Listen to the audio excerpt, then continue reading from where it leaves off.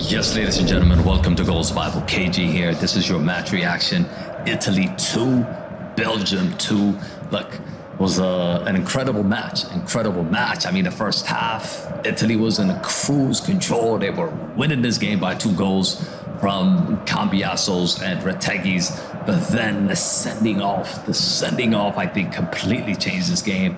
Uh, Pellegrini got sent off uh, around 45 minutes with a ridiculous tackle. 41 minutes, 40 minutes, ridiculous tackle from behind, and he was sent off. And immediately after that, De Cuyper has scored for Belgium. And then the second half, I mean, it was all Belgium. It was all Belgium, and they deserved to get that equalizer through Trossard. But fascinating game, fascinating game. I'm going to talk about the game in a little bit, but let's quickly take a look at the standings as things stands right now. Italy with that draw 2-2, they've gotten seven points. They are up top. France has just beaten Israel 4-1 today. So they are second with six points. And Belgium will be third with four points. And Israel zero points out of three games. So it's gonna be between France, Italy, and, and, and Belgium to see who is going to advance to the next round in this competition. But look, if you take a look at it from the table perspective, a draw is not a bad result for Italy. But if you look at the, the game's perspective, Italy should have won this game. They should have won this game. I mean, if they did not get that red card, they would have won this game comfortably. In 24 minutes, they were leading this game by two goals to nil. And Belgium just had no answers, no Kevin De Bruyne, no Lukaku. You're thinking they're going to struggle here, Belgium. And they were struggling in the first 20 minutes. But then the sending off just completely gave them hope. It gave them some sort of belief to come back and get a result, and that's exactly what they have done. And they could have won it. They could have won it. I mean, this referee has been really awful in this game.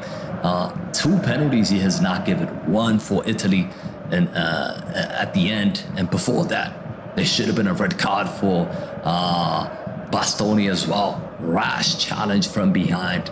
Uh, uh Openda was was through on goal. And that should have been a penalty for Belgium as well. So two penalties he has not given. You might say that even things out, but in the end, look, awful, awful decisions has been made in this game. But eventually, these these referees, I don't know what it is anymore. Like, are they doing it on purpose, or is it an accident? Is it a mistake? I mean, VAR did not even take a look. They did not even take a look at the handball that uh, Italy should have gotten near the end. But look, that is what it is. Let me know your man of the match. Who is your man of the match in this game? Let me quickly ask the question in terms of who is the highest rated player in the Sofascore app. You guys let me know in the comment sections. Whoever gets that answer, you know you're gonna get uh, you're gonna get points. So let me quickly ask this question now. Who is the highest rated player for Italy?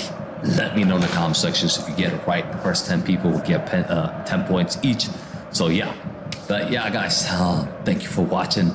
Look, let me know your comments and thoughts about this game and what do you think happened in this match? Should there have been a red card? Should there have been another penalty for each of these two teams? Let me know in the comment sections. But yeah, guys, thanks for watching, and I will see you guys uh, on the next stream. Bye. Peace.